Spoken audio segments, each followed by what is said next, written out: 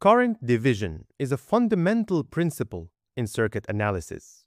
Let's understand it in two minutes. This is the current divider circuit, a current source feeding two resistors in parallel. From Kirchhoff's current law, we know that Is must be the sum of I1 and I2. But what is the share of the total current that each resistor will get? Intuitively, since resistance is the opposition to the flow of current, we expect the larger resistance to get a smaller current and the smaller resistance to get a larger current. Mathematically, we can prove this to be the case. From Ohm's law, we know that I is equal to V over R. The two resistors are in parallel, so they have the same voltage, V. So, this V acts like a constant of proportionality, making I inversely proportional to R. Let's derive the current division formula.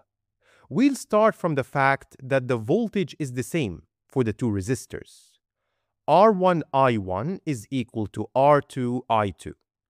We'll solve for I1, for example, by rewriting I2 as Is minus I1 from the first KCL equation.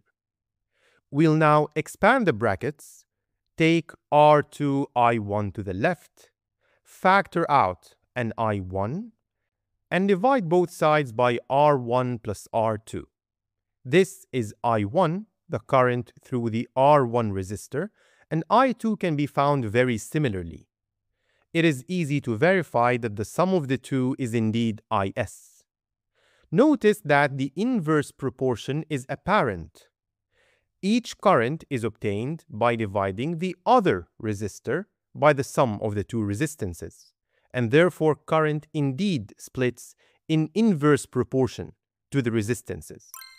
And so, there you have it.